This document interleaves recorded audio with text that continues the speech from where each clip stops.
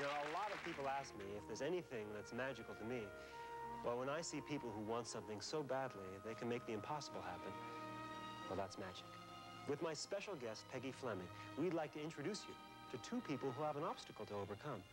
Perhaps they will, with the magic of love.